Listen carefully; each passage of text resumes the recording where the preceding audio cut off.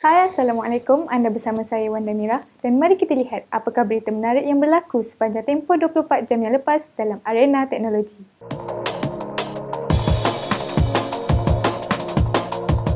HP semalam telah mengumumkan beberapa peranti terbaru mereka iaitu HP Spectre Folio 13 dan HP Tango X. HP Spectre Folio 13 membawakan binaan keseluruhan berasaskan QLED, pilihan skrin 13.3 inci FHD atau 4K, memori 16GB bersama pilihan SSD sehingga 2TB dan dikuasakan oleh Intel UHD 615. Di Malaysia, komputer riba ini dijual pada harga RM7,999.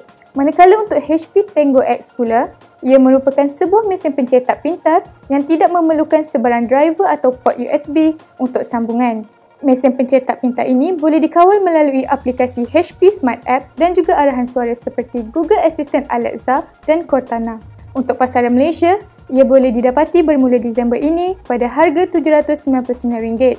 Selain itu, Asus juga turut melancarkan beberapa peranti terbaru mereka semalam. Antaranya adalah Asus VivoBook Ultra K403 dan Display Stream Compression. Asus VivoBook Ultra K403 dilengkapi dengan skrin 14 inci HD penuh dengan rekaan Nano Edge dengan bezel nipis, memori 8GB RAM bersama memori 512GB PCIe dan boleh didapati pada harga RM2,699 untuk model Intel Core i3 dan RM3,399 untuk model Intel Core i5. Bagi display stream compression, ia merupakan sebuah paparan skrin gaming sebesar 43 inci beresolusi 4K dengan kadar segar semula 144Hz paparan display HDR 1000 dan dilengkapi oleh teknologi FreeSync 2 HDR untuk menonton kandungan HDR. Namun, tarikh dan harga jualan masih belum diumumkan. Akhir sekali, MSI telah mengumumkan kemas kini untuk MSI App Player Kemas kini ini membolehkan pengguna memainkan permainan Android di komputer pada kadar mencapai 240